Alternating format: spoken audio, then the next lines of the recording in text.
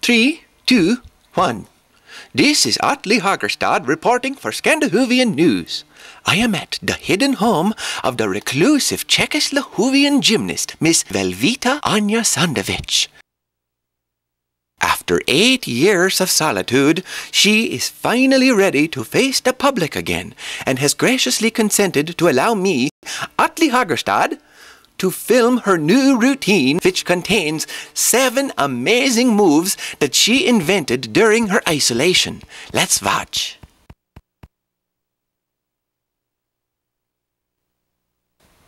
There she goes.